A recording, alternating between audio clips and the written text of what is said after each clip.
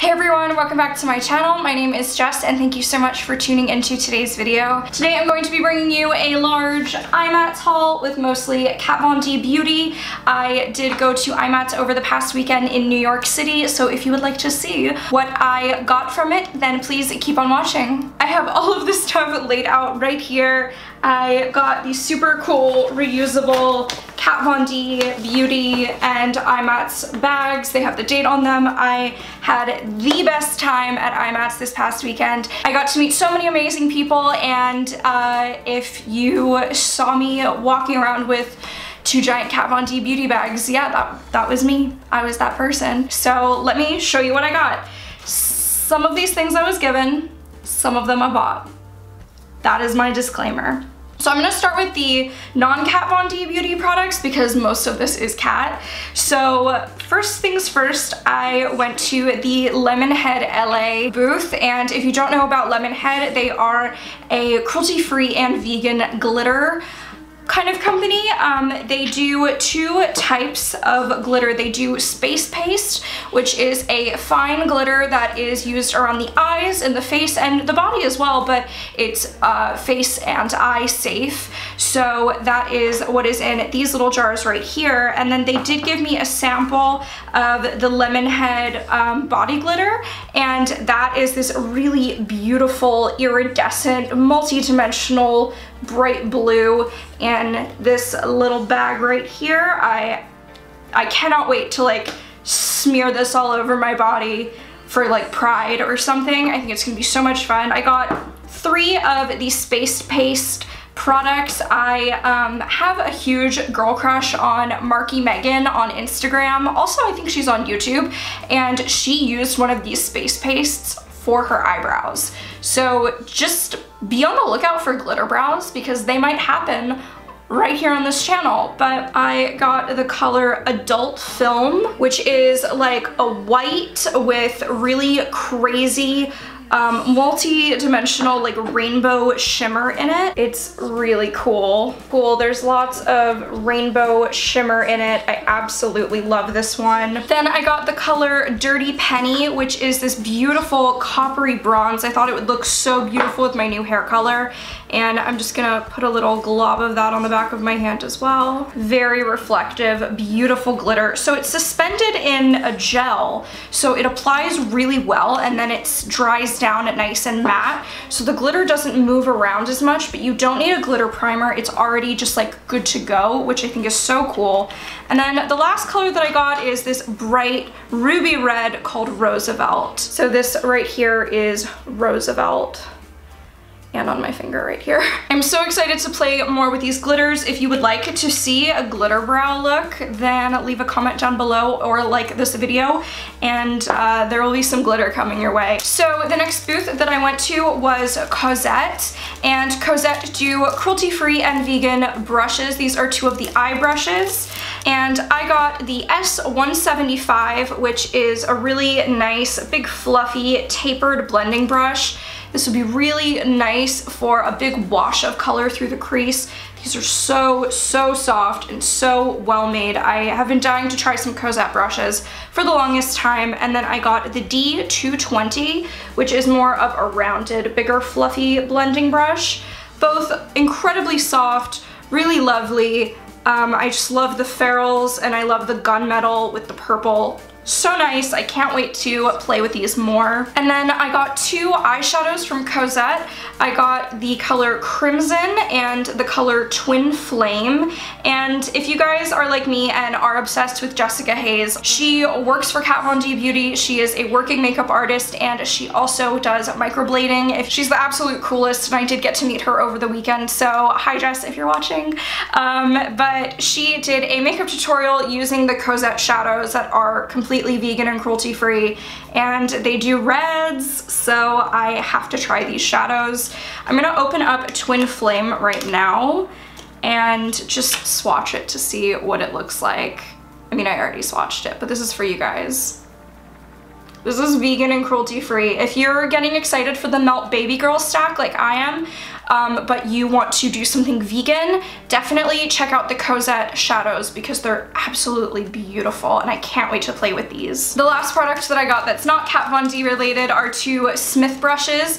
These are little lip or eye brushes. I don't think they were designated for anything specific, but I did get to talk to one of the women that worked at the booth and we were talking about lip art, so I just naturally gravitated toward these itty bitty little brushes and these are both part of their vegan line, so these are not natural hair brushes, they're synthetic. I'm trying to not buy natural hair brushes anymore because I don't really believe personally that they could possibly be cruelty free if they're made of animal hair at all. So I'm trying to step away from that completely. So I have right here the Smith 203 brush, which is a lovely teeny weeny angled brush, really good for cutting the corners of the mouth and really getting really precise lines. And then I have the Smith 304, which is a very rounded little brush, and I think this will be perfect as well for getting really crisp details on the lips. So I'm really excited to try my first Smith brushes. All right, there is a lot here from Kat Von D Beauty, so let's just tuck in. The first thing that I knew I had to get are products that actually don't launch until the 20th, so tomorrow this is going to come out on Thursday the 19th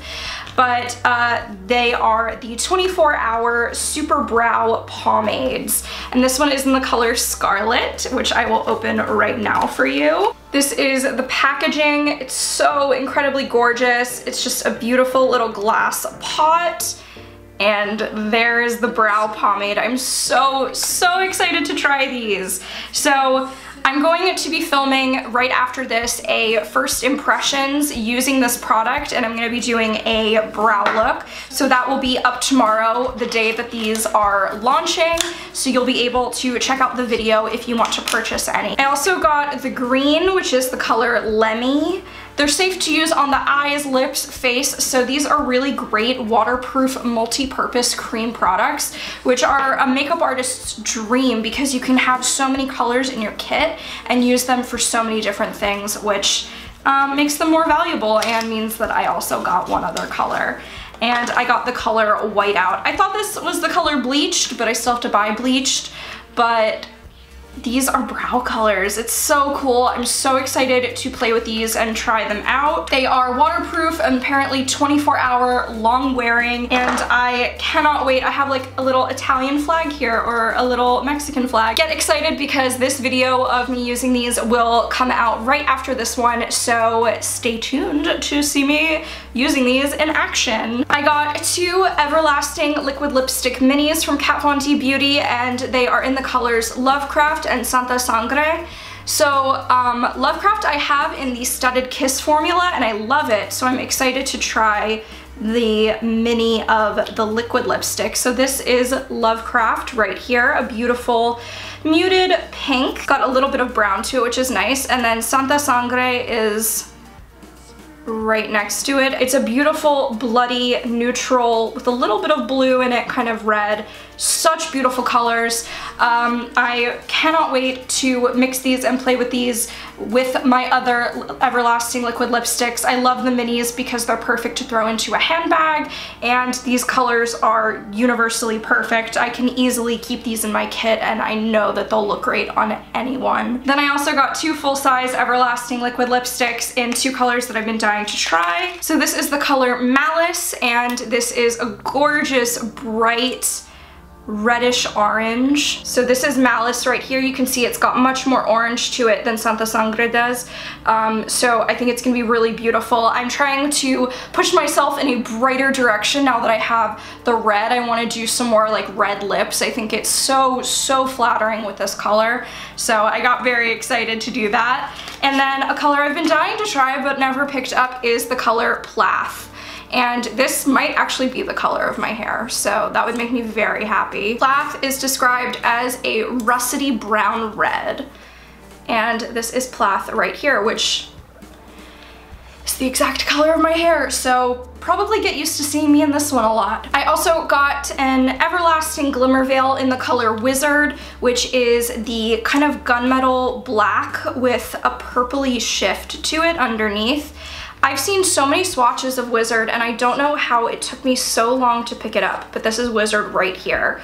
I can't wait to do some lip art with Wizard. I think it'll be so beautiful. I did get a mini tattoo liner in the color Trooper. You guys know what tattoo liner looks like, so I'm not even gonna bother swatching that. I also got some brushes. I was walking around with my girl Gabby Lampone, who is here on YouTube and Instagram. I will leave a link to her channel down below. And we were talking about nose contouring and how like garbage I am at it because I actually like don't do very precise nose contouring on myself. I can do like beautiful nose contouring on other people or myself, but I just never choose to spend the time. So I take whatever like big contour brush I'm using and I just kind of pinch it together and run it down the sides and say whatever. But she was telling me that the um, concealer, the Lock-It concealer brush is really amazing for nose contouring because it kind of comes up into a point and this is the number 40 brush and it just sits like right in here so perfectly. So I'm gonna give this a try and see how I like it. But I will stop doing rough nose contouring on myself, I promise. It's just so quick and easy to do it that way, but I also picked up the number 10 brush, which is the Lock-It Edge foundation brush. I think while this is going to be amazing for foundation, it's also going to be great for cream and powder contour because of, once again, that pointed shape. And then I also got the Shade and Light brush. So this is actually specifically for contouring. You have an angled side up here and more of a pointed round shape here that's nice and tapered really beautiful, I'm sure, for going into the contours, but also applying like highlight and blush. And loose powder, I'm sure this is an amazing multitask brush. And the last brush is the Shade and Light Eye Brush. More of a pencil brush on this side and then a rounded, fluffier brush on the other. I can't see how this is not an amazing brush. I just love having pencil brushes around and then being able to buff that out. So I'm very excited to use this. I received another Divine palette and a Studded Kiss lipstick in the color Divine. So I'm going to save these as collector's items because I'm from Baltimore and I think Divine is the greatest thing since sliced bread. I got another container of the Lock-It loose powder from Kat Von D that I absolutely love. I still have one that I'm using, so this one will go into my kit to replace the one that I just ran out of. But Lock-It loose powder is the bee's knees. If you haven't used it yet, please try it. It is the cruelty-free and vegan version of the Laura Mercier powder, except and then I received the Shade and Light contour palette. I have had this, I've given this as gifts to people, but I did need a new one. This is going to live in my kit. It is a fabulous powder contour palette. That's all I can really say. I am so excited about all of these products and I'm sure you will see them in full face makeup tutorials very soon. Do stay on the lookout for that brow video launching tomorrow, but I hope you guys enjoyed this video. If you did, don't forget to give it a big thumbs up and subscribe if you have not already, and I'll speak to you guys in the next video. Have a great day. Bye.